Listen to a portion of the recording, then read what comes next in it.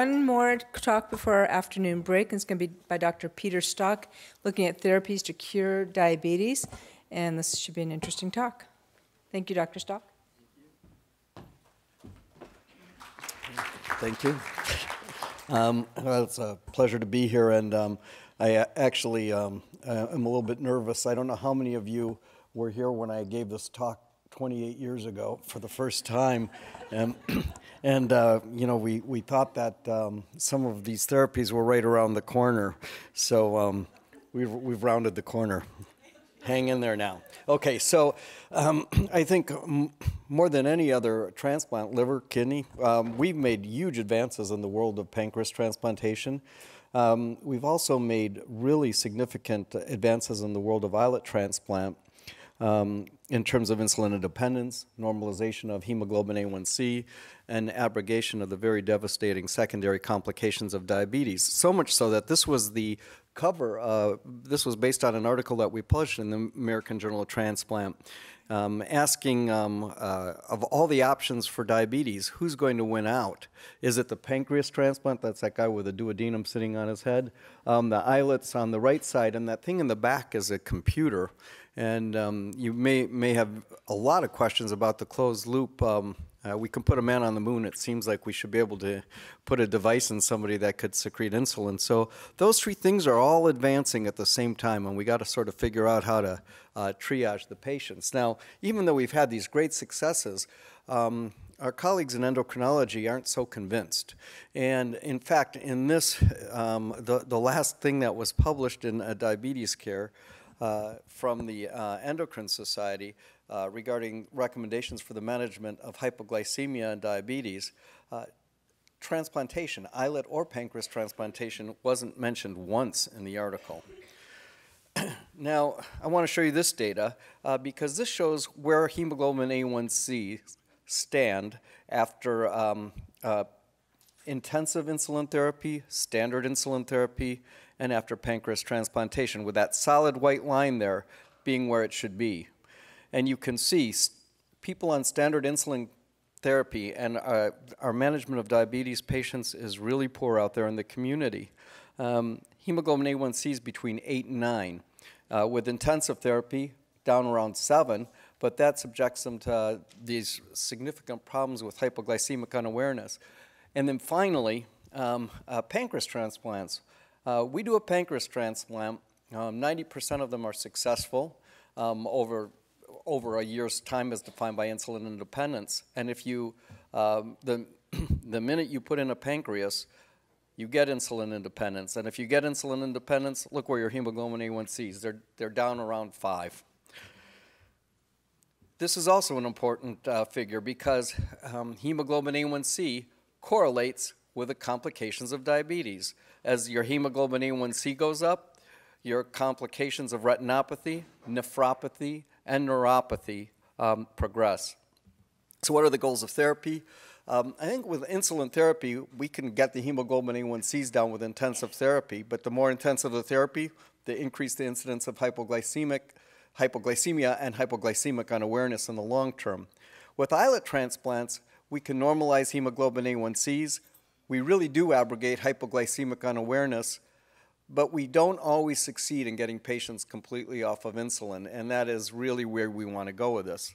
And then with pancreas transplants, hemoglobin A1C is normalized.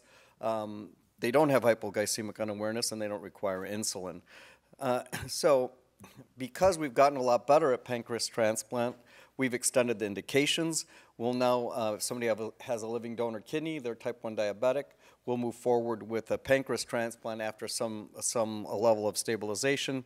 Um, and we also are doing very rarely still uh, pancreas transplants in the pre-uremic diabetic patient with a great deal of success, and I'll show you some uh, data with that. So I'm going to show you some international data now uh, that comes from uh, um, a registry that is in part maintained by UNOS, but it's also um, maintained um, uh, through the JDRF and um, uh, some other organizations internationally. So um, uh, the data is uh, pretty interesting. So for pancreas transplants alone, one year unadjusted patient survival for uh, all categories of pancreas transplantation up there around 95%. Five year somewhere around 90%. So we're, we're doing really well with patient survival in all categories of um, um, pancreas transplantation. In fact, if you look at the one and three year um, UNOS data on living donor kidney survival, patient survival, and all pancreas transplants, all categories of pancreas, they're pretty close. Simultaneous pancreas kidney transplants, almost identical. Um, and, and then at the bottom, we have um, patients who get a deceased donor uh, kidney transplant. So the punchline here is that pancreas transplants don't threaten lives. So keep that in mind. Um, it's a very unnatural act of pancreas transplant, and I don't, um, I don't know how many surgeons there are here. I think there's probably not a great deal of interest in hearing about the technical aspects. Suffice it to say that we put the kidney and uh, kidney on the left side in the standard location, extra uh, where we normally put it extraperitoneally. We do a one midline incision. We put the kidney into the left iliac vessels. We put the pancreas with a segment of donor duodenum into the right iliac fossa, and then we drain the exocrine contents of the pancreas directly into the bowel. And that's the Achilles heel of this operation because now we're draining digestive enzymes, which account for about 85% of the pancreas. Um, uh, into the bowel, and if that anastomosis breaks down or those enzymes get activated, it's like having acute pancreatitis, hemorrhagic pancreatitis. It's a mess, and the pancreas has to come out. That's the Achilles heel. But technically, we've gotten we've gotten much better at that, and um, uh, to the point, as I mentioned before, that 90% of our patients uh, have a technically successful graft uh, at the end of one year. Uh, we've also gotten a lot better with immunosuppression. We used to have, when I started to do this, incidences of rejection of either the kidney or the pancreas over 80%. We're down to now 10 to 15% episodes of rejection with a fairly aggressive immunosuppression consisting of lymphodepletion with thymoglobulin. Um, and we tend to use low dose t- uh, tacrolimus and MMF occasionally. We'll add low dose uh, TOR inhibitors, low dose um, uh, everolimus, sirolimus. Here's the survival uh, benefit uh, that was just published in JAMA in 2015. And it shows that if you get a, um, an, a, a uh, simultaneous pancreas kidney transplant, that's that top dotted line, um, you, you, see um, pretty good survival out 20 years, certainly out 10 years, compared to patients who don't get transplanted. The more important figure is this one. For patients we put on the list who are um, who have diabetes, um, and are uh, waiting for a transplant, 50% of them uh, don't make it um, five years. So uh, we, we really need to do better. Um, and um, uh, I'm going to get to some of that in a second. So, how do we do uh, with allograft success defined by insulin independence? Um, the best is with a simultaneous pancreas kidney transplant you could see the one year uh, graft success is over 90%. In fact, it's about 90% insulin independence for all the categories. A five year survival is best for, for uh, simultaneous pancreas kidney transplants. You can see insulin independence, uh, 80% at five years. Um, similarly, um, uh, it's, it's, it's also uh, good kidney function in those patients uh, because if you give them a pancreas transplant, you you saw the data in the beginning, normalization of hemoglobin A1Cs, you don't get recurrent diabetic nephropathy, which is very important. All these transplants that we're doing in patients with poorly controlled diabetes, they're going to get recurrent disease in the simultaneously in the kidney um, uh, if they don't have good control of the diabetes. Uh, we're not quite as good with pancreas after kidneys or pancreas transplants alone. You could see the, the five-year results in that category are um, somewhere around 50 to 60 percent, but we're getting better, and I think it'll creep up to that in a few years. Uh, typically, the patients that we consider for pancreas transplant, it's their first transplant, they're not highly sensitized, they're type 1s, typically have been type 1s, less than 55 years of age, and have had BMIs um, less than uh, 30. With our improved results, I'm now going to tell you about something that you um, uh, may, um, may um, not um, uh, fully appreciate, but um, uh, we're starting to to extend our criteria. And we are extending our criteria to include type 2 diabetics who phenotypically look like type 1 diabetics. So we, we don't really have a good grasp of what type 2 diabetes is. It comes in all sorts of flavors, but many of you have seen uh, the patients that um, aren't on huge doses of insulin, um, they're slender. Um, yet they become uh, they, they develop diabetes at a, in the 20s and 30s um, and um, uh, they don't look uh, like uh, it's based on insulin uh, resistance. Um, so, how are we going to extend the criteria? One interesting piece, we've, we've been fairly restrictive at UCSF in terms of the age of the recipient for all pancreas transplants. We've said, oh, we should, uh, they should be 40 at the time of listing. We don't really want to um, go above 55. But look at the national and international data. Um, the patients who are over 60 do just as well, if not a little bit better. So it's really not about the age, it's about the cardiac um, workup. The other thing that's quite fascinating is about 10% of the patients traditionally have had type 2 diabetes. They're C peptide positive. And this is the national data. And you could see Survive, patient survival by diabetes type um, over four years, pretty, pretty close. And look at allograft success by diabetes type, also uh, over 80%. We just did a transplant about eight months ago in a patient who had large insulin requirements. She was over 50, um, uh, but she was slender.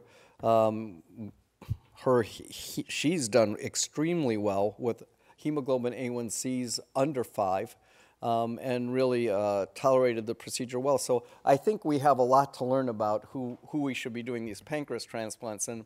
But if you, if you have patients uh, that are type 2, that develop their diabetes in the 20s, in their 20 to 30s, they're not particularly overweight, probably don't have a lot of insulin resistance, those are patients we should be considering for uh, simultaneous pancreas kidney transplants. And there's a number of patients out there. Um, with um, type 1 diabetes, the predominant um, uh, race is Caucasian. Um, but if we uh, look at the type 2s, um, it's a pretty much an equal mix of Caucasian, African Americans, Hispanics, and and uh, as a result of that, we're, we're now starting to do transplants in more people of African descent. I think mostly because we're considering um, uh, uh, these folks with type 2 diabetes. So, what are the pros of successful pancreas? The, the pros of pancreas transplant? It's a single organ transplant. Um, it doesn't matter if patients are large men or petite women. Um, we get insulin independence in over 90%, and we get that right out of the starting gates. It prevents hypoglycemia, it normalizes hemoglobin A1Cs, it improves quality of life. I cannot emphasize that enough. So much so that any patient who's had insulin independence loses their pancreas for rejection or some other reason, every last one of them wants another pancreas transplant. Uh, it, re it reverses over time peripheral neuropathy. It certainly prevents recurrent diabetic nephropathy, and it may prolong life. So why do I even want to talk about cellular transplants? We need to get, have an intervention that we can get to before the patients progress with their cardiovascular complications because those are not reversible. Islet transplants, we know they work. We know they work because um, in uh, patients who have chronic pancreatitis, we can take out the pancreas for pain. That's why we take it out, but that leaves them profoundly diabetic. We can um, isolate the islets from those pancreases if the pancreas isn't too damaged give them their own islets back into the liver. We just inject it into the liver and they flow out into the sinusoids of the liver. And those patients can become insulin independent as long as we can get enough islets out of the pancreas. But it shows it will work. We can make patients insulin independent, but we don't have to worry about autoimmune disease and we don't have to worry about alloimmune disease. Now, if we talk about doing islet transplants in um, in uh, patients with type 1 diabetes, it hasn't been that successful. And it wasn't successful until uh, James Shapiro up in Edmonton, Canada decided, well, we'll give islets, allo islets from deceased donors. we won't give just one dose, we'll give two doses and three doses until we get the patients insulin independent. In other words, give them enough islets and they will become insulin independent. And he tried not to use immunosuppression that made patients diabetes, have diabetes. Steroids, he got rid of steroids. Um, and he tried to minimize the calcineurin inhibitors. We know Prograf um, is, uh, and cyclosporin, uh, both are toxic to islets. So it, it was really neat. He got, uh, he increased um, uh, insulin independence following islet transplants from down around 10% all the way up to over 90%. But here was the problem. Two years later, all those patients became diabetic again. So they didn't last. And people wondered why was that? And um, was it that we weren't giving a precursor population of beta cells with a whole pancreas? Maybe. Um, but Bernhard Hering um, at the University of Minnesota decided to give more potent immunosuppression. I think we were a little bit misguided in the beginning. We thought that little population of islets, they wouldn't need very much immunosuppression, and that is that's wrong. If you use more potent immunosuppression, uh, we you you can get. He got 50% of his patients to be insulin independent at five years. And then, if you look at the National Registry, that the, the table on the right is patients who received lymphodepleting regimens for induction. So really potent, the potent immunosuppression that I was talking about, thymoglobulin, Campath. They, you started to see insulin independence rates of pushing 50%. In fact, if you look at these centers, um, many centers now are reporting uh, five-year insulin independence rate greater than 50%, including ours, which is the fourth one down. Greg Szot is the guy who isolates the islets, um, and um, Andy Posselt is, is, uh, has run this program. It's really neat. We got, we're up around 80% at, at that's actually four years, um, rates of insulin independence. And um, the one thing I have to tell you is we are very selective about the patients that we do islet transplants in. So we don't do large men with high insulin requirements. So keep that in mind as I show you some of this very exciting data. Um, this, uh, the table on the right is a patient on normal insulin therapy. That's the variation in blood sugars uh, with a continuous glucose monitor. And after a successful islet transplant, one that engrafts, you could see the hemoglobin A1C is stable. And not only that, this is uh, also data from Canada, this from Vancouver. Um, you can uh, prevent the secondary complications with an islet transplant. But there's huge challenges um, precluding wider application of, of this. Um, immunosuppression associated with it has been associated with degradation of renal function in, in patients who they've done islet transplants and the pre-uremic patients who they were trying to prevent progression. In other words, they gave them Prograf or calcineurin inhibitors, and as a result of that, these patients who, who, who didn't have problems with their kidney function developed problems with their kidney function. And what was worse is giving multiple infusions of islets sensitized patients, and that prevented them from getting a kidney transplant. Uh, we adopted a protocol 10 years ago now, over 10 years ago, um, uh, through the Juvenile Diabetes Research Foundation, where we used uh, drugs. Uh, we had access to some of the more interesting uh, drugs at the time. I, I, I, think Flavio's probably up there. These were all drugs that we got access to because he first did the trials in kidney patients. One of them is belatacept, co-stimulation blockade with belatacept, and the other is a drug called Raptiva, which is an adhesion molecule blocker, also uh, tried, tried uh, uh, in kidney transplants, both successful in kidney transplants. The neat thing about co-stimulation blockade with um, belatacept or uh, adhesion molecule blockers with Raptiva, those drugs have no nephrotoxicity. They are incredibly well tolerated. So we did a protocol where we didn't want to use prednisone, we didn't want to use any calcineurin inhibitors, and we used maintenance therapy with co-stimulation blockade and either sirolimus or um, um, CellCept, mycophenolate mofetil. And I don't want to go into a great deal of detail. Just remember our maintenance, we use thymoglobulin induction, potent induction up front, and then maintenance with either uh, belatacept or Raptiva. And here is 10 year results. Um, the yellow line are patients that are insulin independent. The blue line is patients that are partially insulin independent. And the red line uh, means they're back to their full use of insulin.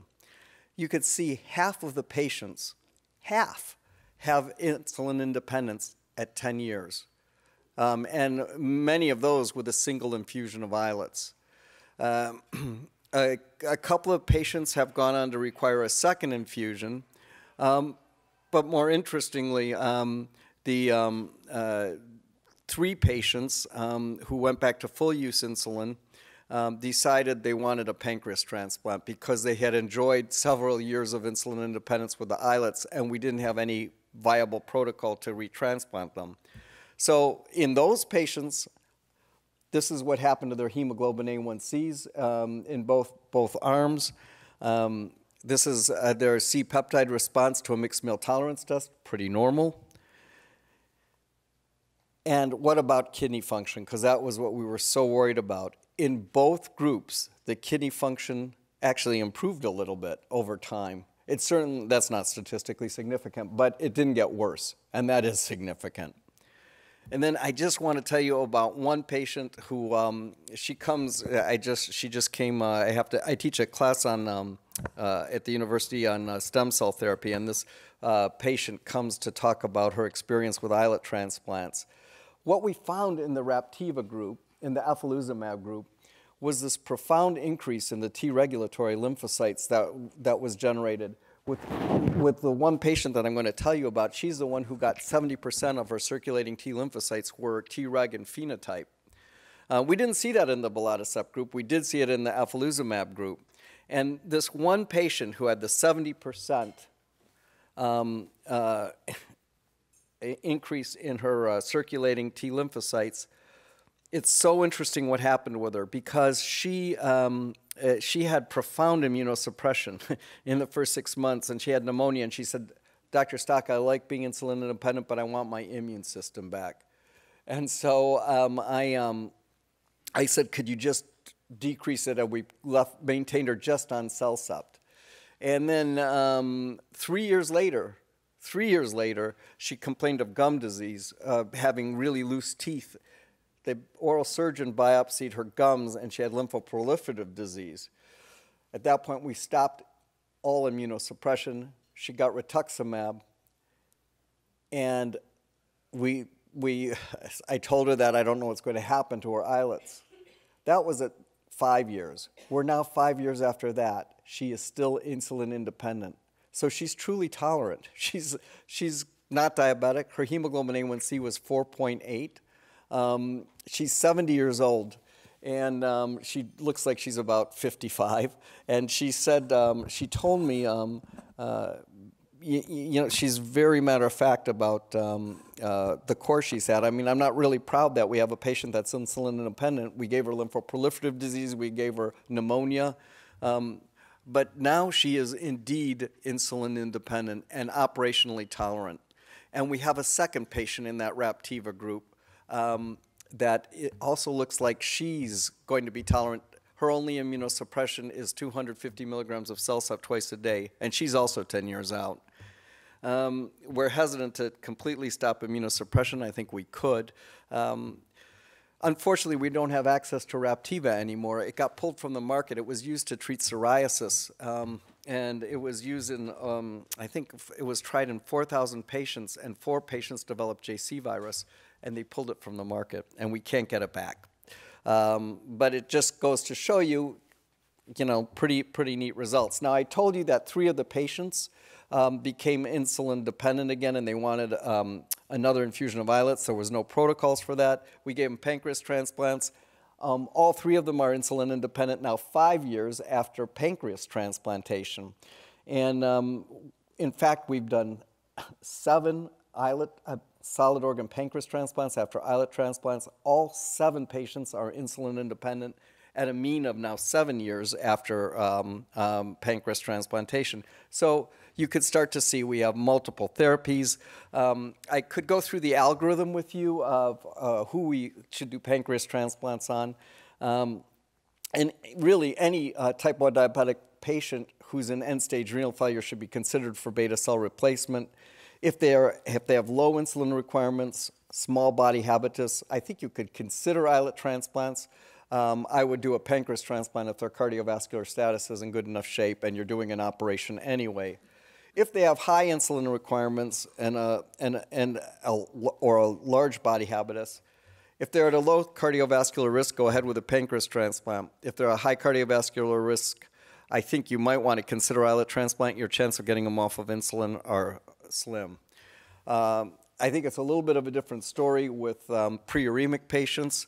Um, if they have life-threatening complications, people have to set their alarm clock every night because they're afraid they're not going to wake up. Um, and they are high cardiovascular risk, you could think about an islet transplant. Low cardiovascular risk, I would do an islet or a pancreas transplant. If there's no life-threatening complications, I would just continue medical management. But here, here's the punchline. If you, if this table, this figure, if that represents the close to 2 million people in the US with type 1 diabetes, pay attention to that one dot at the top. That right there, that little green dot, that's the number of patients that we can help with a pancreas or islet transplant in the sea of type 1 diabetics. I'm not even talking about type 2 diabetics. That's who we're helping.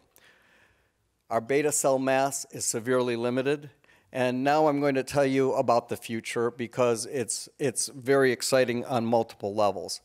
First of all, can you make a beta cell from a stem cell? The answer is yes. There's uh, two groups really that have gone, gone made a stage eight beta cell from um, either uh, uh, a pluripotent stem cell, um, IPS, or an embryonic stem cell. Um, they've gotten insulin producing beta cells. Um, one group, uh, Doug Melton's group in Boston, um, Kieffer's group up in um, uh, Vancouver, um, both have beautiful beta cells, function pretty nicely. Uh, we also have uh, one of my colleagues at UCSF, Matthias Hebrok. He's got a pretty good beta cell too. Um, you may be familiar with this trial that was done um, in conjunction with the California Institute of Regenerative Medicine. They tried to put this um, stem cell clusters, it was a stage four. So uh, they had uh, propagated the, the, the um, differentiation of, of the embryonic cell to a, to a beta cell, but at stage four, they took it out and they transplanted it. And over the course, it, they, they knew from small animal models that it took about a month or two months, and these cells fully matured in vivo. And and could turn around insulin. The problem was uh, they, they were pluripotent, so they could still make little tumor cells, not malignant, but neoplasms. So the FDA um, worked with, um, with um, the group ViaCyte down in Southern California, actually, who had the stem cell. They encapsulated it and did subcutaneous transplants. And this is the trial you may have heard about. The problem is encapsulating the islets um, and putting them in a location where you could remove them if they developed a problem, um, it didn't work. They didn't survive. Um, they couldn't survive the, um, uh, the encapsulation. So, flash forward now to um, the current status. Um, we need an engraftment site that we can pull cells out of uh, in case we get into trouble. And along those lines, uh, injecting islets into the forearm, into the muscle or the subcutaneous tissue seems like a, a logical, obvious choice. We have tried for a long time to put islets into that area, so we didn't put them into the liver. Putting them into the liver, it's estimated that only 10% of the cells that we inject survive. So, um, if you, if you look at a mouse model, take human, human cells and put it into an immunodeficient mouse, um, about maybe 30 or 40% of the cells survive in the kidney capsule, less in the subcutaneous, somewhere around 10%. Um, we worked with stem cell derived beta cells from Matthias Hebrok's lab. They do a little bit better, the stem cell, the beta cells derived from stem cells, but still only about half survived in the, um, in the kidney capsule of the mouse and um, about 40 to 50% in the um, subcutaneous tissue. And if we encapsulated them, none of them survived. So there's been a few people working in, in, in our lab, in our transplant surgery residents working with me, who uh, were trying to make the environment in the subcutaneous and, uh, area and muscle, making that area uh, thrive so that the cells would sur- uh, uh, survive in there. And they were working in conjunction with uh, uh, Qizhi Tang in our, in our immunology lab. And we've tried all sorts of things. Each one of these makes it a little bit better. But it wasn't until actually two years ago that Casey Ward, who's one of the surgery residents now working in the lab, had just finished his endocrine rotation. And you all are familiar with when we take out parathyroid tissue, you can put it into the forearm and it grows just, you know, that's where we, it will survive in the forearm. And so Casey thought, well, there's an endocrine tissue that's working. Maybe if we co transplanted parathyroid tissue with islet tissue, we could get it to survive. And lo and behold, in, if we take human islets and put them again into the immunodeficient mouse, we can reverse diabetes by putting the islets with parathyroid tissue in the subcutaneous tissue. Um, and it really exciting because we've never been able to do that. And even more interesting, if you take stem cells and put them into the subcutaneous tissue and transplant them with parathyroid tissue, we can completely reverse diabetes in a mouse model using human cells. So now, now we've got islets working in the forearm, and it looks like 100% survive. Remember, only 10% survived in the liver. So now we're thinking sky's the limit because um, maybe, maybe some people are talking about putting pig islets into the forearm. Um, and more importantly, we just, we think we got funding. um, it got a good score. Uh, we find out in two weeks if they're going to fund it as we wanted it to get funded. We're going to do a trial in humans, patients who are already on immunosuppression, um, either with a liver or a kidney transplant. They have to be type 1 diabetic. We're going to, we're funded, we hope we, we've got funding for eight patients to do a subcutaneous transplant of deceased donor islets with uh, parathyroid, parathyroid tissue from the same donor. And if this works, um, uh, and I, I, I, could talk to you for about two hours about why it's working um, and why the stem cell people want to fund this. Um, uh, we can really um, expand it, and if we have, if we can, if we can use an unlimited source, um, it'll blow the lid off of how we um, manage uh, diabetes. Uh, so on that, I just want to uh, acknowledge the huge effort uh, that is going on at UCSF. The person up in the upper left is Qizhi Tang. You've met her before at this meeting. She's our transplant immunologist. That's uh, Julie Sneddon on the uh, bottom right. She's a um, islet biologist. Mike German, uh, islet biologist, and Jeff Bluestone, an immunologist. Um, that's Matthias Hebrok, who's making stem cells, um, uh, upper right-hand corner. Um, that's Tejal Desai, um, who's the head of bioengineering at UCSF. Uh, she's trying to figure out a better strategy for encapsulating the islets. That's the whole team of people who are involved in the islet transplant program. That's Andy Posselt in the middle, um, who's uh, really spearheaded the clinical effort. And on the left is uh, Greg Szot, who is the guy who isolates the islets. And those are my colleagues in uh, surgery. Um, many who are there, we unfortunately have a liver meeting. The international liver meeting is is uh, this week, so it's the um, men, Nancy and John uh, and uh, Seymour are at that meeting. Uh, so I'll stop there and um, entertain any questions you might have. Thank you very much.